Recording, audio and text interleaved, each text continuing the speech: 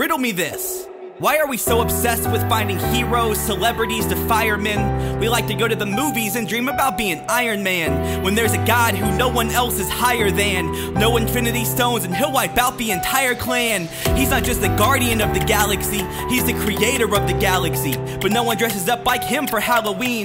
We'd rather cling to our fake reality. Whenever actually, he's the only superhero that can prevent casualties. Batman, Batman, rolls around in his Batmobile. Well, Christ died, came saved us all, and that's for real. Spider-Man has spidey senses, walks on walls and shoots out webs. Well, Jesus Christ walked on water, no webs, just using his legs. Superman can fly high and touch a satellite dish. Well, Christ fed 5,000 with a few loaves and fish.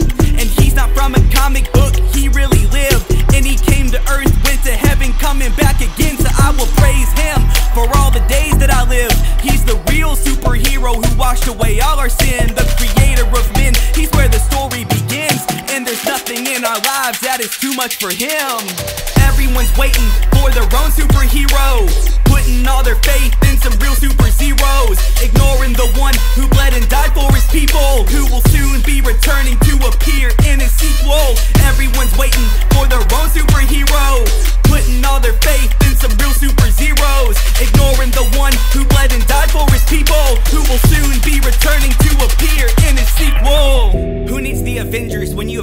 your defender? With an iron fist, he knit you in the womb with all his splendor. All the others are pretenders. He dares the devil to enter and makes Luke Cage look like Cottonmouth ready to surrender. Because when it comes to justice, he's in a league of his own. He doesn't need a ring or a cape for the green light to be shown. In a flash, all of your past sins are atoned. All you need to drink is that living Aquaman to see God on his throne. You say Wakanda forever, but I got heaven as my forever home. The devil in the shadows, like Killmonger trying to overthrow. But God's powers don't come from a vibranium flower that's grown. He is power, so he's always ready to defend and show that he's the real Star Lord, Lord over every star. He will never abandon his people, unlike Thor and Asgard. He is Hawkeye, so world feels torn apart, he will restore your heart with new life as if you're Tony Stark. Everyone's waiting for their own superhero, putting all their faith in some real super zeros, ignoring the one who bled and died for his people, who will soon be returning to appear in his sequel.